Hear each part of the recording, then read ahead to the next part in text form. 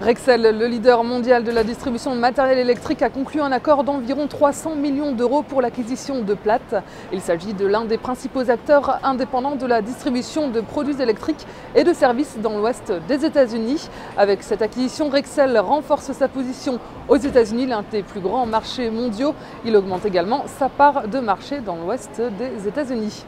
L'opinion des analystes de l'OPSA sur cette valeur est haussière. Le titre gagne 2,79% en fin de séance.